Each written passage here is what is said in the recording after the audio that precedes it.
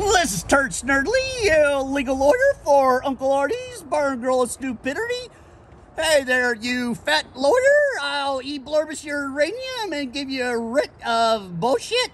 So go fuck yourself, because you're a client. We're leaving now. Have a shitty day, jackass.